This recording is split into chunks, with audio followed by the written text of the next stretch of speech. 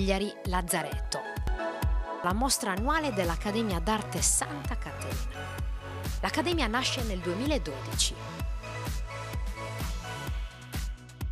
Ogni anno propone laboratori intensivi e corsi annuali che abbracciano vari campi come la pittura, la scrittura, la fotografia, la grafica, il fumetto e l'architettura.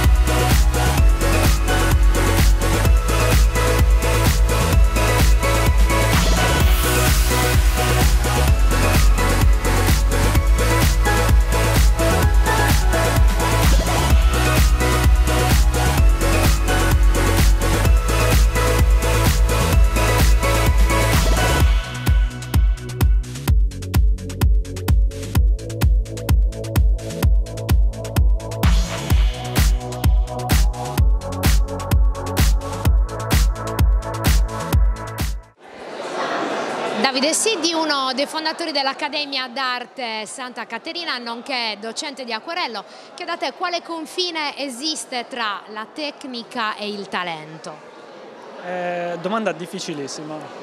Sono in realtà due cose indispensabili entrambe, secondo me, nel senso che eh, il talento magari è quel valore aggiunto che poi sostenuto dalla tecnica permette di realizzare degli ottimi lavori e di avere poi magari anche una carriera artistica eh, c'è anche da dire che il talento senza tecnica può rischiare di essere inutile forse. Tu da autodidatta hai imparato quella che è la tecnica eh, dell'acquarello, quale consiglio ti senti di dare ai tuoi allievi? Eh, sicuramente moltissima pratica, alla fine mi sono reso conto che quello fa la differenza negli anni anche per una persona che parte completamente da zero, ai corsi spesso capita qualcuno che non ha mai preso in mano una matita eh, però con molto impegno riesce tranquillamente a fare degli ottimi progressi. Quindi sicuramente l'impegno e la dedizione è la cosa principale. L'Accademia nasce da un'idea di professionisti per forgiare dei professionisti. Questo è ciò che la differenzia rispetto ad altre eh, scuole d'arte o eh, a chi organizza corsi di arte e via dicendo. Sì, esattamente, è nata proprio con, con l'idea di formare e di offrire prima di tutto una formazione tecnica e poi soprattutto di offrire anche una, una formazione professionale, cioè permettere a chi impara la tecnica di percepire il, la propria capacità come una possibile professione e soprattutto poi capire come gestirla, quindi come proporsi al mercato, eh, come organizzare una mostra, come gestire i rapporti con un cliente e così via.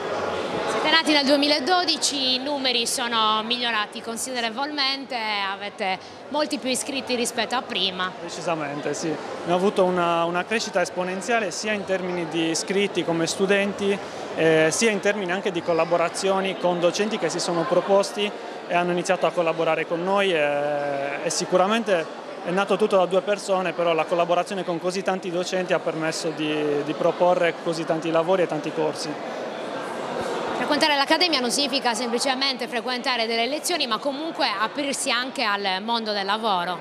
In teoria sì, questo è il nostro obiettivo, poi chiaramente ci sono tanti altri fattori che bisogna valutare, però diciamo che il nostro obiettivo è quello di dare tutti gli strumenti che poi possano permettere a chi vuole veramente impegnarsi in una professione di provare a intraprenderla come strada, come lavoro. Visto che prima abbiamo parlato di talento e di tecnica, ti chiedo, ma il cosiddetto genio dell'artista che va fuori da quella che è la tecnica tradizionale, tu hai avuto modo di conoscerlo?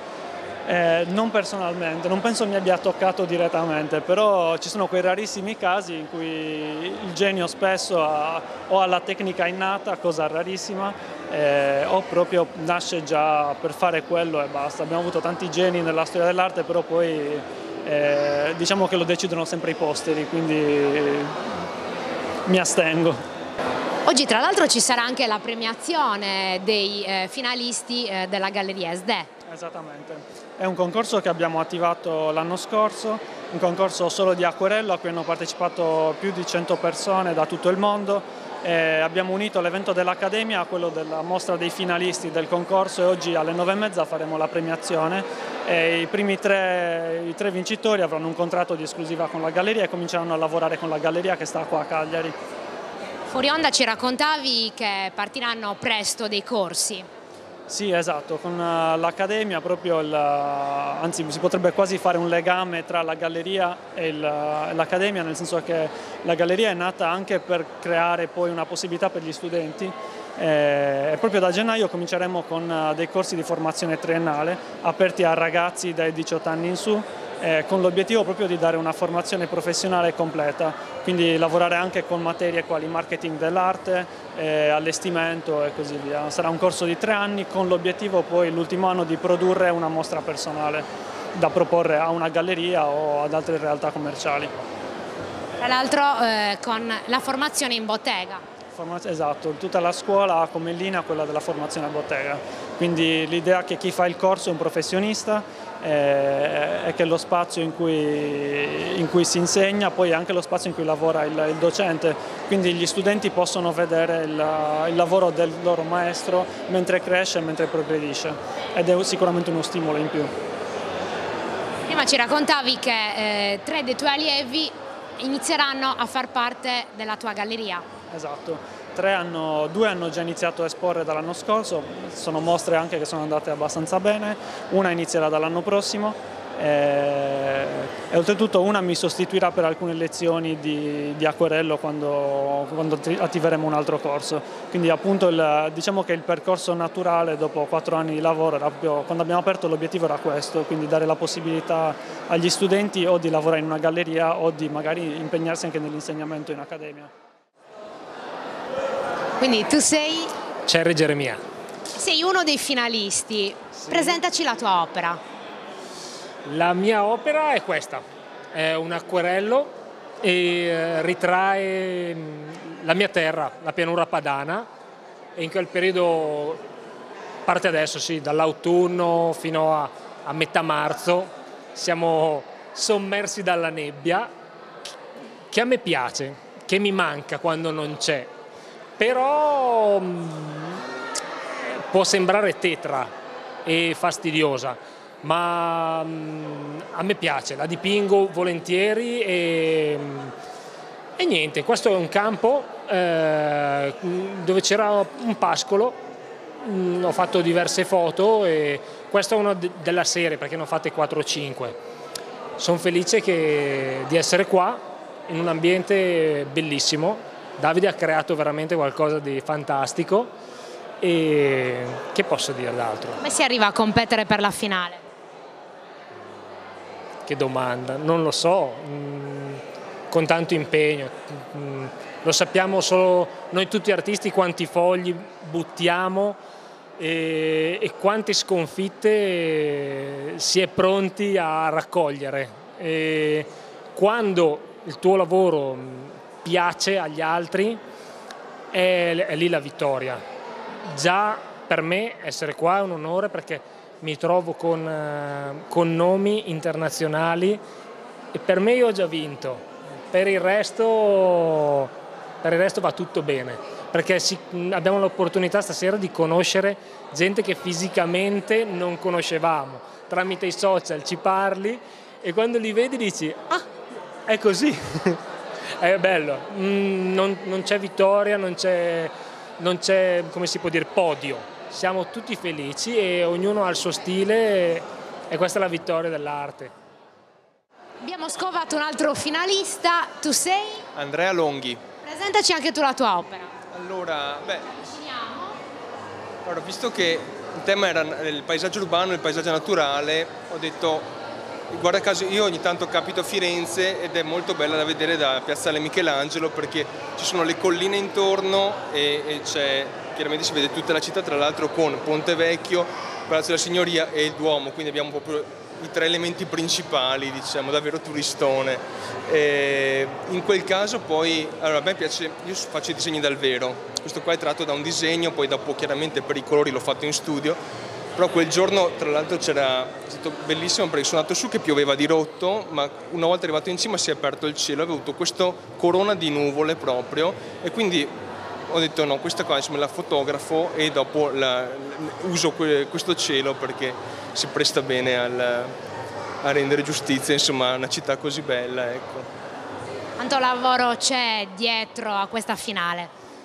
Allora, diciamo che eh, in termini di tempo sono stati due giorni di lavoro, anche perché io son, lo ammetto pubblicamente, mi sono accorto del, della scadenza il giovedì notte praticamente e sabato bisognava consegnare, quindi da venerdì ho, ho fatto tutto venerdì, sabato ho consegnato e in realtà quanto c'è dietro? C'è dietro tutto quello che c'è prima e quindi io sono anni che che disegno dal vero, che viaggio, soprattutto quando viaggio disegno perché è il mio modo per, per, per vivere il luogo invece di scattare una foto è un po' più lungo, i tempi di esposizione sono diversi, ma diciamo che dopo la, la resa mi, mi, appaga molto. Ecco.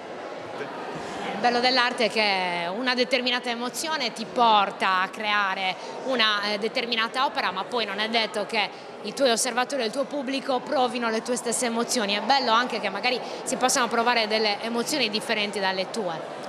Sì, allora eh, dopo chiaramente appunto a voi restituisco un'altra cosa, queste sono robe intime mie che non, non, è un, non, è un, libro scritto, quindi sono, uno non le può sapere. Eh, quello che mi viene detto e di cui vado molto fiero è che di solito quando disegno un posto lo rendo allegro. Eh, io tendo a rendere un po' buffe le cose, non so, cioè buffo, diciamo è molto gioco, io tendo a essere giocoso ecco, con, con, con, i soggetti che, che vado a riprodurre. Vi presentiamo un'altra finalista, lei è? Judith Offord. Benissimo, vogliamo presentare anche quest'opera. Anche quest'opera. Quest'opera eh, mi rappresenta nel senso che preferisco dipingere eh, le atmosfere e l'emozione più che proprio il paesaggio. E devo ringraziare un amico fotografo che fa queste fotografie belle, che mi ha ispirato e incredibilmente sono riuscita ad arrivare in finale, non me l'aspettavo proprio. Quali sono le emozioni che trapelano da questa tela? L'immensità, si chiama l'immensità, l'immensità della natura, dell'atmosfera, dell'emozione del, della pianeta anche. E sono sempre queste cose che mi ispirano. L'immensità comunque, come potremmo dire, è enorme, no? Sì. Ma allo stesso tempo è anche per certi versi così piccola e la si può racchiudere in un rettangolo.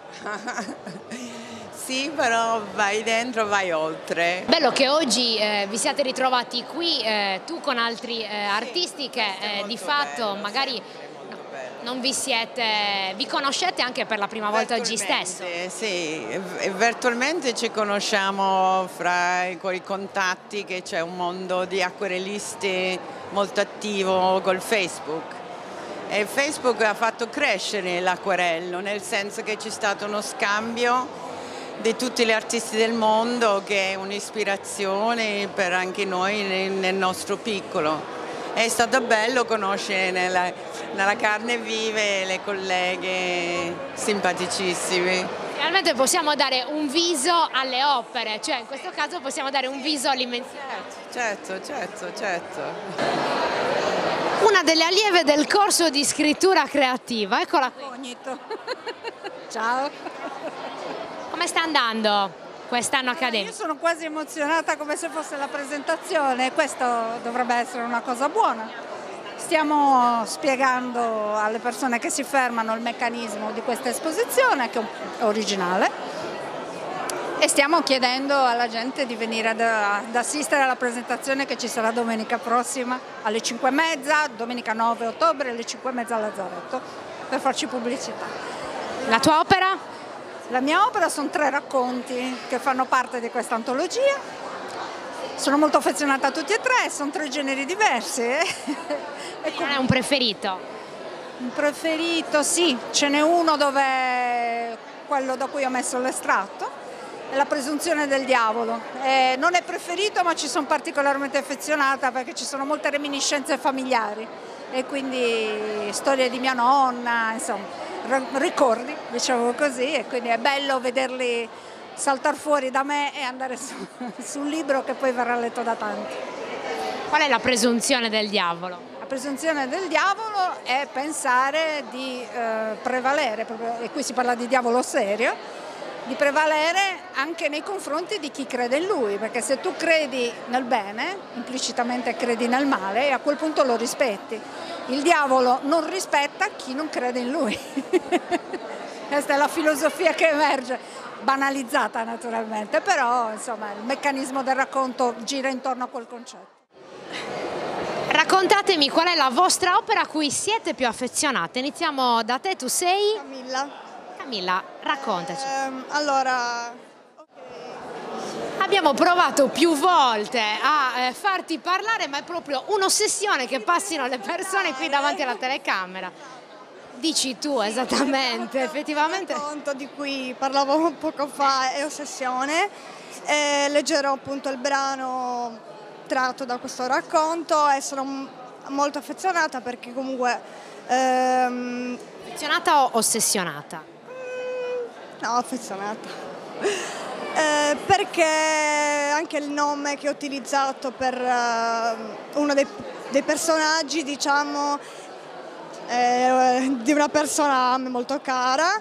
E poi anche il, um, il tema di cui parla uh, è un po' forte, diciamo. Però eh, non voglio svelare altro, quindi va bene. A livello umano cosa insegna a scrivere?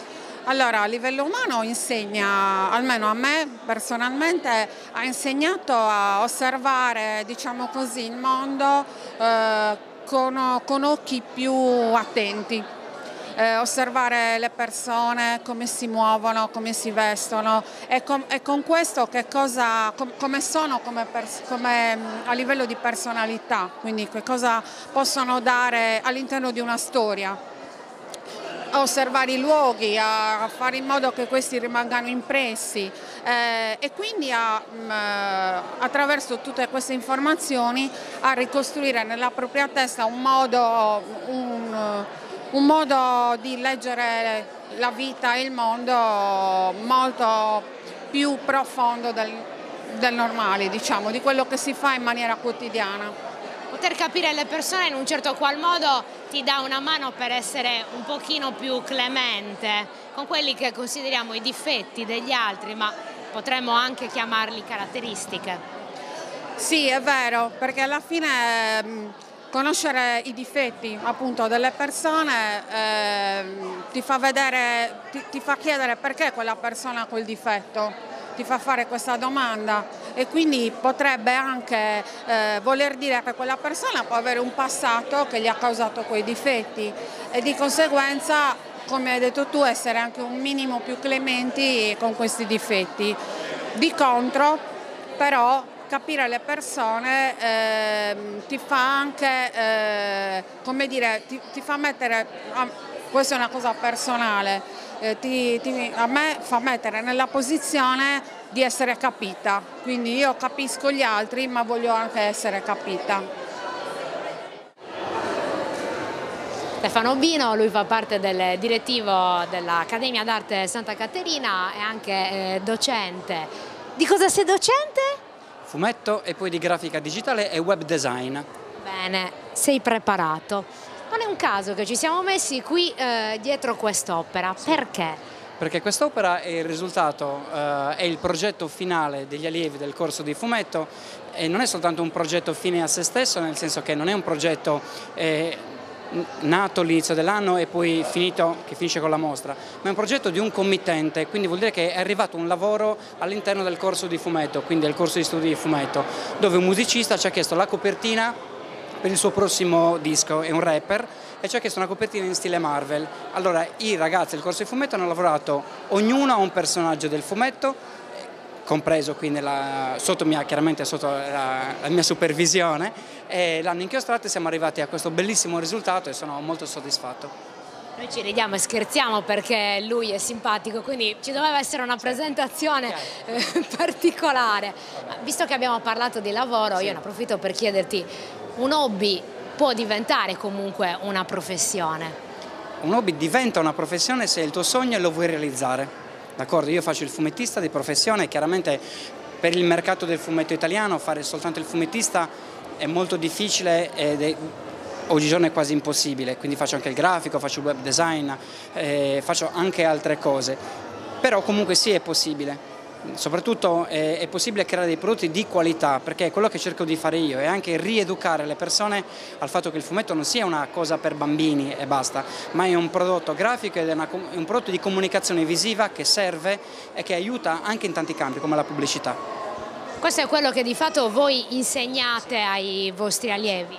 Sì, noi insegniamo, ci piace dire che noi insegniamo l'anticarte eh, della bottega, cioè quando l'apprendista arrivava nella bottega dell'artigiano, del pittore, dell'artista, si sedeva a fianco a lui e imparava. E il pittore o l'artista, l'artigiano gli insegnava e trasmetteva tutta, tutta la sua conoscenza senza alcun filtro, senza censura. Questo è quello che facciamo noi, siamo tutti professionisti del settore, siamo 21 insegnanti di cui sono 15 fissi qui a Cagliari e gli altri invece stanno in giro per l'Italia e ognuno insegna il proprio mestiere e la propria conoscenza senza alcun filtro e poi soprattutto senza eh, omettere i famosi segreti che poi sono segreti pulcinelle e non esistono.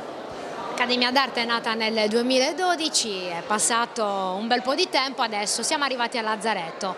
È nata questa partnership con Lazzaretto, una partnership molto importante, infatti voglio ringraziare sia eh, Morgan Cera che il presidente della cooperativa che gestisce il Lazzaretto e Chiara Corona eh, che da, eh, il braccio destro di, di, Morgan, ci hanno accolto a braccia aperte, eh, a piene mani, ci hanno dato una, un sostegno incredibile e questo è molto importante perché comunque loro credono nel nostro progetto. Il nostro progetto non è quello di fare una scuola d'arte dove le persone eh, diciamo, hanno un passatempo e coltivano soltanto una passione, ma noi facciamo un'accademia.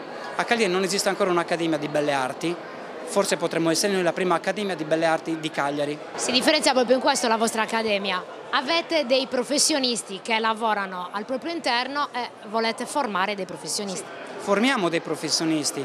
Giorgio Binella per esempio è il docente di scrittura creativa e gestisce i corsi di scrittura, produce, anzi crea scrittori che partecipano ai concorsi, li vincono, vincono premi in denaro, vengono pubblicati e si prendono i soldi delle loro pubblicazioni. Meglio di così i ragazzi del fumetto porteranno, adesso no, prenderanno del denaro chiaramente per questo progetto, però spero poi in futuro se vorranno continuare prenderanno il denaro.